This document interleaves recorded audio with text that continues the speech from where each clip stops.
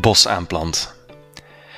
Afgetakelde bossen worden hersteld door het bos te verjongen en een deel van het dode hout op te ruimen. De verjonging van de bossen wordt bereikt door het aanplanten van verjongingsgroepen, ook wel bekend als kloempen. Deze techniek maakt het mogelijk om een nieuwe generatie loofbomen te introduceren.